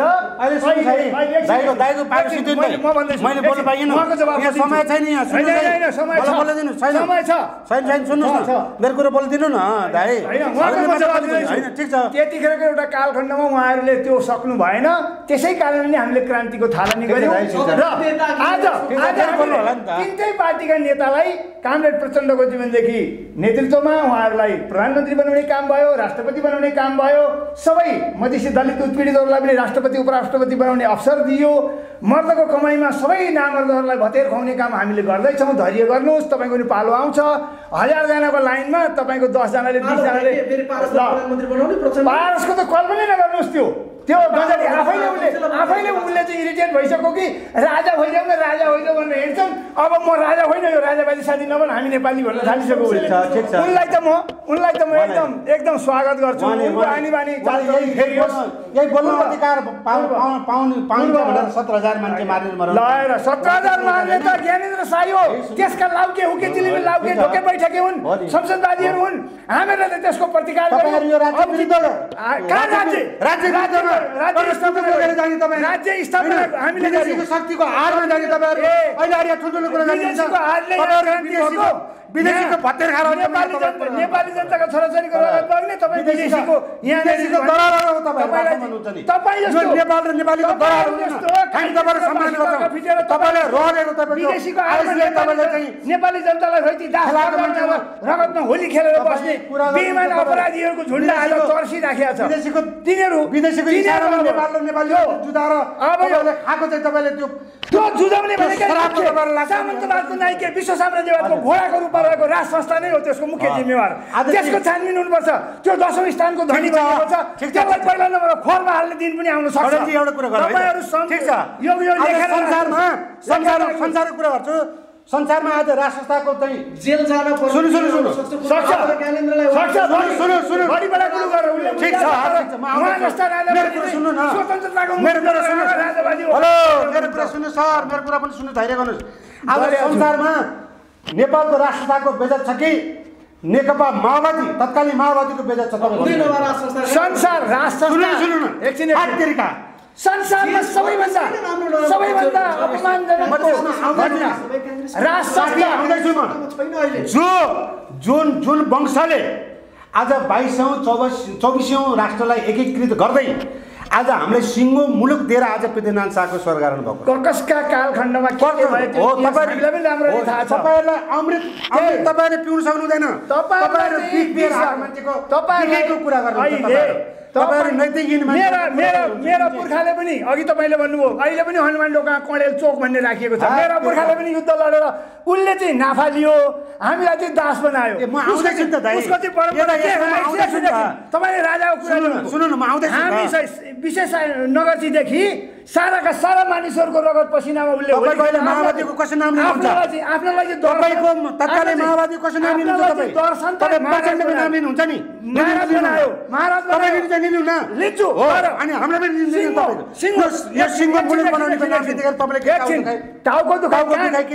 तपाईँले यहीँनिर तपाईँहरू देशद्रोही टाउको दुखाइ हो राष्ट्रद्रोही सुन्नुभयो नि के एकीकरणका नाममा अतिक्रमण गरेर लियो सम्पूर्ण नेपाली जनतालाई जुदायो तपाईँहरू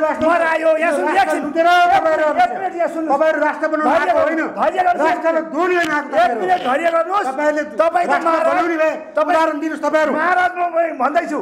महाराजले एकीकरण होइन अतिक्रमण गरेर लियो। नेपाली तपाईँ सुन्नुहोस्।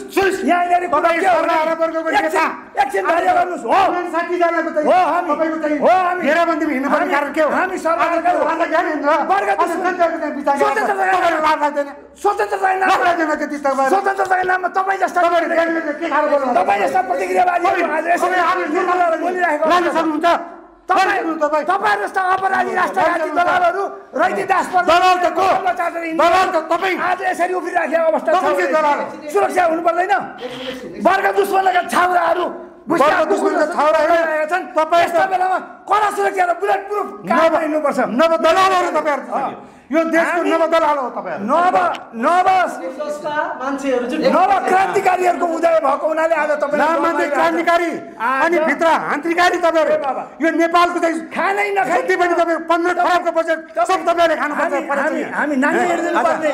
आज तपाईँको दुनियाँलाई थाहा छ। अध्यक्षको तपाईँको अध्यक्षको दैनिक खर्च खर्च तपाईँ नेपाल आज सरवारा वर्गको चाहिँ विलासिता जीवन जस्तो तपाईँ हो अख्तियारमा हाल्नुहोस् न मुद्दा। हाल्नुहोस्? अख्तियारै तपाईँहरूको हाल्नुहोस्। होइन।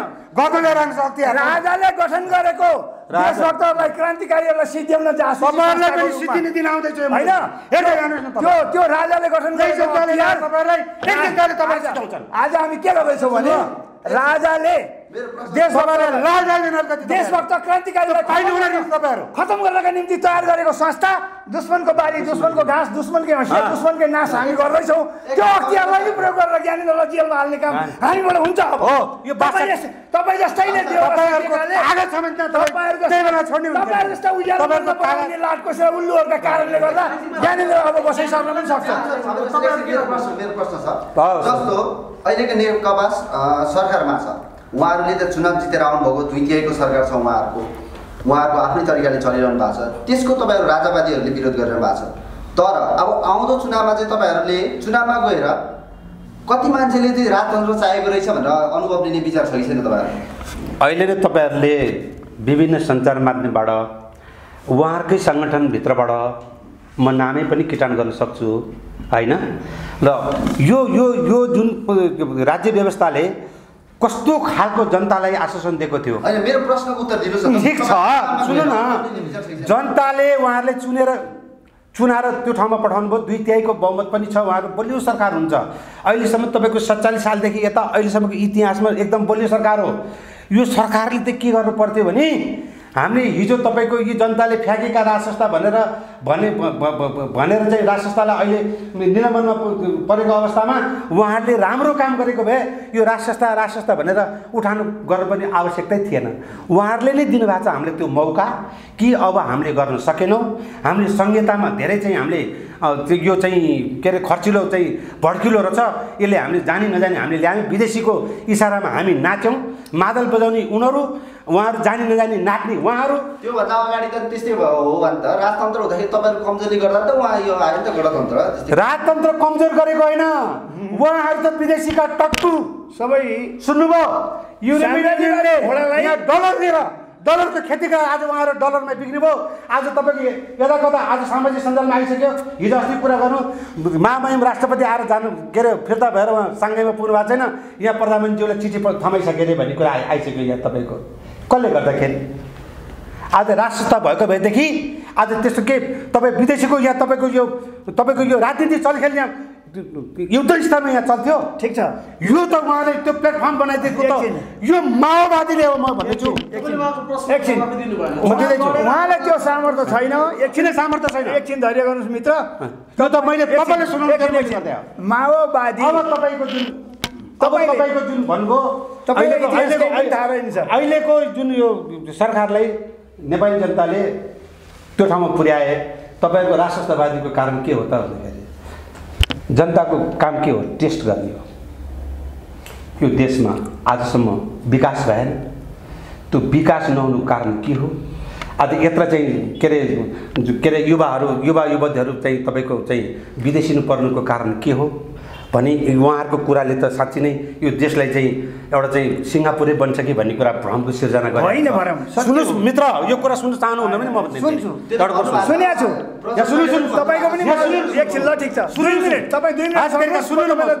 तपाईँहरूले प्रशंसा गर्दै आउँदैछु क्या। होइन। तपाईँहरू के प्रशंसा प्रशंसा स्वस्थ चाहिएको छैन। सुन्नु न। दस वर्ष सस्तो लोकप्रियता चाहिएको छैन सस्तो लोकप्रिय। बजारमा ल्याउनु भएको हामी यथार्थमा बोल्छौँ। त्यो सत्य कुरा त्यही हो नेपाली। जनताले टेस्ट खोजे नेपाली काङ्ग्रेस पनि त्यही अवस्थामा गयो अब एउटा एकचोटि चाहिँ काङ के अरे कम्युनिस्टलाई चाहिँ बहुमत दिन्छ भने वास्तवमै यो देश साँच्चीकै माथि उठ्छ कि भनेर यो टेस्ट गरेको जनताले। तर यो अल्पायुमै जाने जस्तो चाहिँ अवस्था चाहिँ सिर्जना भएको देखेर मलाई पनि साह्रै चित्त दुखाएको छ। म म यसको विपरीत भए तापनि र देश र जनताप्रति त मेरो आस्था त छ नि माया र ममता त मसँग त छ नि। होइन? तर यो देशमा चाहिँ तपाईँको रोजगार तपाईँको त्यो शिक्षा स्वास्थ्य आदि इत्यादिमा तपाईँको तपाईँ हामीले सुविधा पायो भने कोही भाइ बहिनीहरू ठिक छ। विदेशमा- विदेश ठिक छ जान्छन्। मित्र, ल। सुन्नु सुन्नु सुन्नु मैले सुनेँ। मेरो कुरा सुन्नु न सुनि तपाईँले मात्रै सुन्नुपर्छ। म शिक्षामा आउँछु, स्वास्थ्यमा आउँछु, रोजगारीमा आउँछु। अस्सी लाख चाहिँ युवाहरू चाहिँ तपाईँको विदेशी पर्नुको कारण के हो त भन्ने ल। यहाँ भएको सुन्नु न होइन होइन सुन्नु नि यहाँ तपाईँको त्यो के अरे तिस बत्तिसवटा उद्योग धन्दाहरू उहाँले पनि सखा बनाइदिनु भयो उहाँहरू भनेर नभन्नुहोस् तपाईँहरूले सखा बनाउनु भएको छ त्यो घाँसे मासे उदाहरण दिन्छु म त्यो गिरिजा प्रसाद कोइरालाले गरे हो त्यो काम दस वर्षको तपाईँको सशस्त्र युद्धमा त्यो कुनै तपाईँको आएको होइन हामीले। एउटा गरिबले घर घर खेत राखेर गाडी किनेको त्यहाँ गएर बम ब्लास्ट दाममा पड्काइदियो हुन्छ, भने हामीले जनतालाई पुरा पुष्टि गरेर देखाइसक्यौँ। तपाईँहरूको सुन्नुहोस् है एउटा कुरा एउटा। सुन्नुहोस् तपाईँहरूको के हो? दस सुनिसके तपाईँको तपाईँहरूको अब एकछिन। अब तपाईँहरूको तपाईँको पालो सुन्ने। तपाईँहरूको के हो भने तपाईँ पालो उद्देश्य? सुन्ने अब जनतालाई कमजोर बनाउने। गरिबीको रेखामुनि ल्याउने अनि हाम्रो पछि लगाउने। अनि वामपन्थीको पछि लगाउने अनि हामी। सत्तामा पुग्ने। अनि राष्ट्र दोहन गर्ने ल अब तपाईँको तपाईँहरूको पालो। मेन एजेन्डा तपाईँको। पालो मैले सुने। अनि अब मेरो पालो। सुनिस् यहाँ दुई मिनट अब तपाईँको सुने मैले। तपाईँले भन्नु असी लाख बेरोजगार तपाईँलाई इतिहास थाहा रहन्छ जङ्गेका पालादेखि। नेपाली जनतालाई। बिक्री गरेर रोयल्टी खाने शासकहरू थिए राजा। महाराजा भन्नु न, भन्नु न। यो भर्खर अहिले नेकपा। माओवादीले। यहाँ चाहिँ तपाईँको विदेश?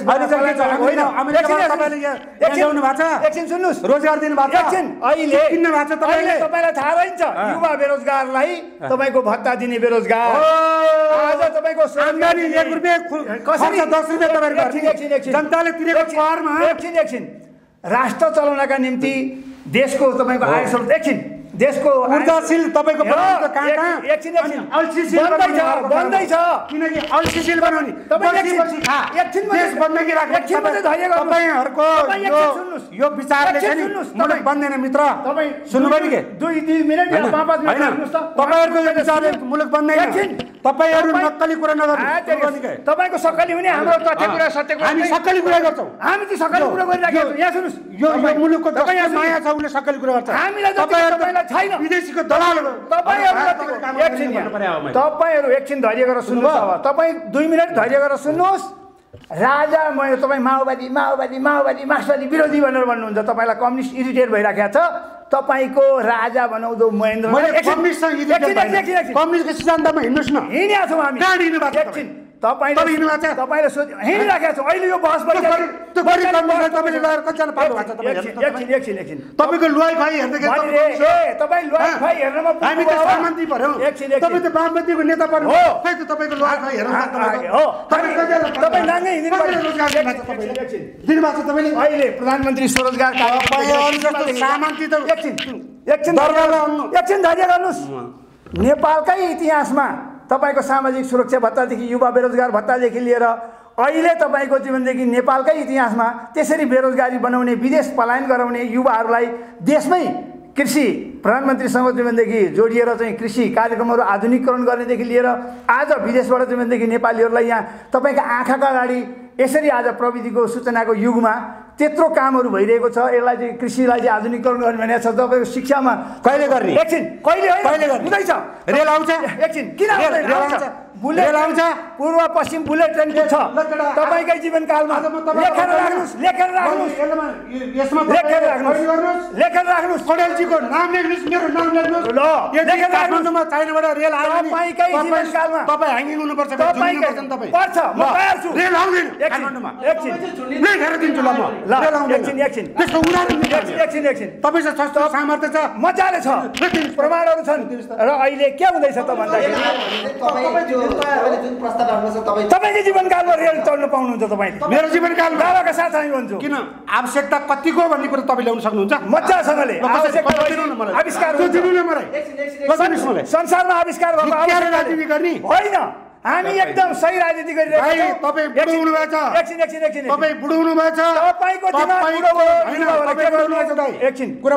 बुझेको मैले। बुझेरै भनेको। बुझ्नु बुझ्नु। म पनि तपाईँले। होइन होइन। पनि एकछिन मसँग सोद्धा बुझ्दा ठिक छ, हुन्छ ल, ल, भन्नु न, नि। होइन। नेपालको संसारभरिको विकासको पूर्वाधार के हो त? भन्दा आर्थिक उन्नति गर्ने के हो त? भन्दा ऊर्जाको विकास हो। प्रविधिको विकास हो। निर्यात हो। होइन? आज तपाईँलाई कान बहिरा भएका छन्। हजार मेगावाट विद्युत चाहिँ अहिले चाइनातिर या इन्डियातिर चाहिँ लानका निम्ति तपाईँको चाहिँ तयारी हुँदैछ। बुझ्नुभयो? आज नेपाल अब यो हिमाली राज्य माकुराको जाल जस्तो केबुल कारै केबुल कार हुँदैछ। तपाईँको पोखराबाट चाहिँ उहाँ के के अरे चाहिँ मुस्ताङ के अरे। एकछिन एकछिन। यो तपाईँ चुप लाग्नुहोस् एकछिन है। होइन होइन गफ होइन काम गरेर देखाउँदैछौँ आज त्यो त्यो सत्तामा पुगेको मान्छे हो कि? एकछिन। उहाँको कमरेडले नै तपाईँ- बिहान एउटा कुरा अनि हामीले दिउँसो। एउटा कुरा होइन। सुत्ने बेला एउटा कुरा गरेको पार्टीको कहाँ? मान्छेले कहाँ? भरपर्दो कुरा हुन्छ। आज। रेल किन काठमाडौँ आउँदैन चाइनाबाट भनेर मलाई सोध्नुहोस्। तपाईँलाई सोधेर मलाई सोध्नुहोस् तपाईँले। तपाईँ जस्तो निरुकुष्टवादीलाई ताना साला सोधेर हामी कुरो थापेर यो देशमा आएका होइनौँ के? एकछिन। उहाँले सुन्नुपर्ने तपाईँको कुरो पनि सुने। तपाईँको कुरो अघि मैले सुने। तपाईँले के भन्नुभयो? असी लाख युवा भन्नुभयो। बेरोजगार छन् भन्नुभयो। भ्रष्टाचार छ भन्नुभयो। एकछिन- एकछिन कृषि कृषिमा नेपाल सुन्नुहोस्। तपाईँ। भन्नुहुन्छ होइन? कृषिमा हामी भइसकेको। सुरुवात भइसकेको छ। अहिले के छ त भन्दाखेरि भन्नुहुन्छ? अब तपाईँ त्यो बुझ्नै चाहनुहुन्न। देश उज्यालो मनै पर्दैन। यो माओवादीले के गर्यो? कृषि प्रधान। संगठन चाहिने युवा युवती चाहिने आफ्नो राजनीतिक लाउँछ त हो त, लाउँछ। आज कृषिमा तपाईँको चाहिँ धाराशाही बनाएर कुनै यो अवस्थामा पुर्याउने नेकपा माओवादी हो। कृषि आधुनिकरण हुँदैछ र ऊर्जाको विकास राख्नु एकछिन एकछिन लेखेर लेख्न पर्दैन भने मैले तपाईँ उहाँले भने लेखेर यो कृषिमा तपाईँको परनिर्भरता बनाउने मुख्य कारणै नेकपा माओवादी हो। कार्यक्रमको अन्तिम जस्तो मुख्य अब- कारण नै तपाईँको राजै हो रेलको लागि भन्नुहुन्छ हेर्नु, रेलको लागि किन आउँदैन? हामी ठुला ठुला गफ गर्ने हाम्रो क्षमता कति सुन्नुहोस् यहाँ। हामीमा क्षमता कति छ त्यो पनि थाहा छैन। मजाले थाहा छ हामीलाई। कसै थाहा छ? तपाईँ क्षमता कति छ? मलाई कति थाहा छ? ल भन्नुहोस्। सामन्तवादको नाइकेलाई ढाल्नेदेखि लिएर अब नेपाली जनतालाई समृद्ध बनाउने तपाईँ हामीसँग सामर्थ्य छ। तपाईँ छ। तपाईँ आलिसान महलमा बसेर गर्ने। आलिसान। खोल ओढेर तपाईँको। चिम्टा पर्थ्यो? तपाईँलाई हामी भोकै नाङ्गे हामी त। संसारका धनी मानी बनाउनु सुनको। कार प्रत्येक नेपाली भन्छौँ हामी त तपाईँ जस्तो मान्छे विष्णुमतीको हामी- किनारामा गएर सुकुमासी भएर बस्नुपर्छ हामी ए त्यहाँको यस्तै सुकुमासीलाई- यस्तै राक्षसी हो। यस्तै हाडी गोप्य राक्षसी विचार भएकाहरूलाई तपाईँ त तह लगाउनका शान्ति निम्ति हो तपाईँ। हामी कम्युनिस्टहरू तपाईँ कम्युनिस्ट तपाईँको चाहिँ के अरे साउदीको सामन्ती हौ तर सामन्तीलाई उदाहरण दिनलाई तपाईँले त्यो काम होइन। हामी हामी नाङ्गे सामन्ती हिँड्दिए हो। हामी भोकै हिँड्दिए हामी पशुपतिको चाहिँ जोगी भइदिए। तपाईँहरू चैनले फेरि खानुहुन्थ्यो। राजा चौतारा भारी होइन। जस्तो जोगी भएर- हामी क्रान्तिकारीहरू आएका सुन्नु। न। छौँ। तपाईँका घरमा पनि भोलि सुनको कार हुने नेपालमा। समस्या जोगी भएर तपाईँ तपाईँ तपाईँले कुरो ल्याउनु भयो। नेपालकै सबैभन्दा ठुलो अन्तर्राष्ट्रिय माफिया भूमाफिया सुनदेखि नुनसम्मका माफियालाई तहलाउनका निम्ति पहिलोचोटि अधिकृत वारेस लिएर वैधानिक लडाइँ अहिले लड्दैछु। को को? क्याप्टेन रामेश्वर थापा तपाईँको राजाको दाहिने हात। तपाईँको प्रवीण शमशेर जबरा तपाईँको राजाको दाहिने हात ज्ञानेन्द्रको।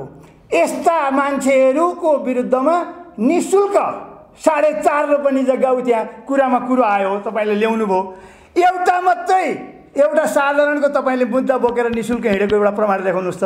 म नि शुल्क मुद्दा बोकेर हिँड्दैछु मध्यरातमा गुन्डा लाएर खबरदार तेरो ज्यान अब भन्दाखेरि आइज तेरो हजुरबाउ म यहीँ बागबजारमा छु भनेर च्यालेन्ज दिने मान्छे म हुँ। पटक पटक बोलीको आदेशबाट बाँचेको मान्छे हुँ। सामन्तवादका नाइकेहरू ती लुट खसोट गरेर तपाईँको- हुनेहरू यहाँ सुन्नुहोस् तपाईँ भोलिदेखि पार्टीको कुरा तपाईँ। सबभन्दा एकछिन। एकछिन एकछिन व्यक्तिगत रूपमै तपाईँ तपाईँको- आज आज परिचय भयो तपाईँ राजावादी होनार हुनुहुँदो रहेछ। तपाईँ त्यो मैले प्रमाण लिएर भोलि जुटाउँदाखेरि तपाईँ अग्रपङ्क्तिमा तिनका विरुद्धमा आउने कि नआउने? तपाईँलाई वेलकम छ। स्वागत होइन, छ होइन, तपाईँ चाहिँ आउने कि नआउने यो अभियानमा? आउँछु। मुखले आउँछु। चिउरा कुरा आउँछु। व्यवहारमा व्यवहारमा तपाईँकै तपाईँकै नेताहरूको सुन्नु न। तपाईँहरूकै नेताहरूको तपाईँहरूकै नेताहरूको पनि तपाईँको छानबिन गरौँ त त्यहाँ मजाले। उहाँहरूको विलासिता जीवन कसरी आइरहेछ। कहाँबाट बजेट आएको छ। नेपाल सरकारले कति दिएको छ। कुन कुनबाट कति कति आएको छ। तपाईँले दिन सक्नुहुन्छ? सबै खोजी गर्ने सक्नुहुन्छ? अभियानमा? भोलि। तपाईँ यहीँनेरि म ती सिङ्गो परिवारलाई यहाँ ल्याउँछु। तपाईँ पनि यहाँ आउनुपर्छ। यो अभियानमा त्यसले मैले अरू केही बोल्नु पर्दैन। मेरो त व्यवहारले सबै कामले बोल्ने छ त्यो। र तिनै परि पीडित परिवारले बोल्ने छन् र यहाँ आएर तिनले बोल्दाखेरि तपाईँको एकबद्धता राजा महाराजाका आडमा शक्ति केन्द्रको आडमा तपाईँको लुटिएको सम्पत्ति फिर्ता हुन्छ। म पनि आजैदेखि लागेँ अभियानमा भन्नुभयो भने। तपाईँ अलिकति भित्रदेखि चाहिँ एउटा इमान्दार हुनुहुँदो रहेछ। एउटा चाहिँ पीडितहरूको पक्षमा हुनुहुँदो रहेछ। राजाको एउटा आस्था राखे पनि भन्ने कुरो म पनि बुझौँला। होइन भने तपाईँ सम्पूर्ण कुरो जीवनदेखि यो परिवर्तनलाई पहिला- आत्मसात गर्न नसकेर एकछिन पहिला तपाईँहरू सचेर आउनुहोस् न। आइ, तपाईँहरूको म त अझै कति सजिलो- समग्र समग्र तपाईँ- सङ्गठन सचेर आओस् न। तपाईँ जस्तालाई रैती तपाईँहरूको आफ्नै लडाइँ पनि भनिरहेछ तपाईँ रैती- तपाईँहरूको लडाइँ जस्ता- रैती? दास हामीले नागरिक बनाइदिउँ अझै तपाईँलाई के बनाइदिनु पर्यो? राजा बनाइदिनु पर्यो? राजा त अहिले। विरोधी। तपाईँहरू त अहिले राजा हुनु भएको चाहेको छ अरू कोही छैन। तपाईँ राजा- अहिले राजा हो। प्रचण्डजीले भएर अब यो मुलुकमा राजा थियो राजा छैन। अब त हामी नै हो भने नेताले भने नेपाली जनतालाई राजाको हैसियतमा चाहिँ पुर्याउँछौँ। सिरबेच्ची लाउन पाउँदैन। चाना साउन पाउँदैन। पुर्याउनु भने। पुर्याउँछौँ। महँगाइको चरम सीमा। लाएर। आज यहाँ सुन्नु राय साग राता एक किलोको पाँच सय रुपियाँ पुऱ्याइदिइहाल्नु। अघि भनिसकेँ। त्यो गरिबले कसरी बाँच्ने? एक- एकछिन तपाईँको गरिब उत्थान भने भ्रष्ट, भ्रष्ट। गरिब भगायो भने त अब गरिब त यहाँ बिचरा भ्रष्ट कर्मचारी तपाईँहरूकै राजाले। पालेका? भ्रष्ट कर्मचारी त्यही काङ्ग्रेस लाङ्ग्रेसले नियुक्त राजाको पालामा? कर्मचारीहरू राजाको पालामा त्यो आज 500 त्यो रुपियाँ थियो। कम्पिटिसन, त्यो जमाखर। बलात्कारी पालेको कसले राजाकै मतियारहरूले पालेको छैन? त्यस्ता खालका त। पऱ्यो भने ती जम्मै कारवाहीमा पर्छन् हाम्रो पार्टीको छाता ओढेर कोही कसै बलात्कारी भयो कमिसनखोर भयो भ्रष्टाचारी भयो भने ती छानी छानिकन चेपोमा पर्छन्? तपाईँ। तपाईँ हेरिराख्नु होला। तपाईँहरूले- कोही छुट पाउँदैन। भोलि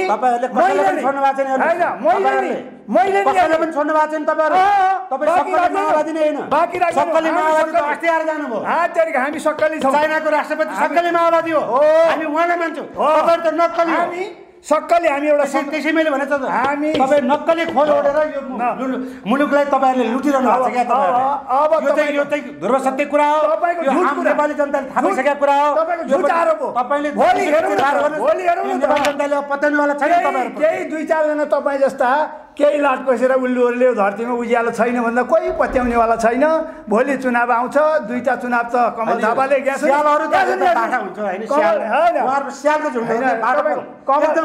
तपाईँको सबभन्दा ठुलो नेता कमल थापा हिजो पञ्चायतको जाँचबुझ समितिदेखि लिएर सारा कुरा भइ खाएको आएको अध्यक्षले गाईको फाँचो देखाएर चाहिँ देशभरि हिन्दू राष्ट्र र राजा भन्दै कुदे।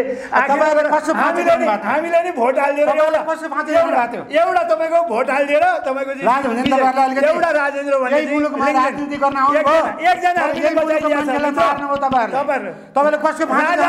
राजाले सबभन्दा बढी यो देशमा यो परिवर्तन हुन नदिन। सत्र हजार मान्छे मार्यो। त्यसको औचित्य पुष्टि भएन। कामरेड प्रचण्डले औचित्य पुष्टि गरेर देखाइदिनु भयो। आज जेल जानुपर्ने हो। उसले चाहिँ जेल जानुपर्ने हो। त्यो बिचरा गङ्गामाया पाँच वर्षको चाहिँ श्रीमानको लास हेरेर बसिरहेको थिइन् बिचरा। ए। ती गङ्गामाया त्यो ज्ञानेन्द्रले मारेको। ज्ञानेन्द्रकै युद्ध। गर्दा